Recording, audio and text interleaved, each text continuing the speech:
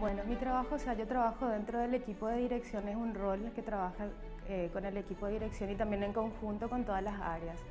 Y yo me encargo de em, tratar de que la, que, la, película siga toda su línea narrativa, que los planos se, se, peguen unos con otros, porque si bien tenemos un guion que está narrado en orden cronológico, en rodaje no se, no se, no se graba en orden cronológico.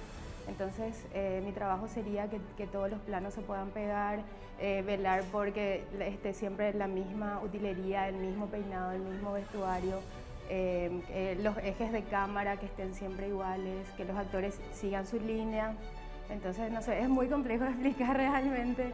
Mi trabajo como continuista empezó en el año 2011 con la película Libertad. Esta sería mi quinta película en el rol de continuista. También trabajé, o sea, hice Libertad, después hice Luna de Cigarras, Felices los que lloran, La Última Tierra y ahora eh, esta, Los Buscadores.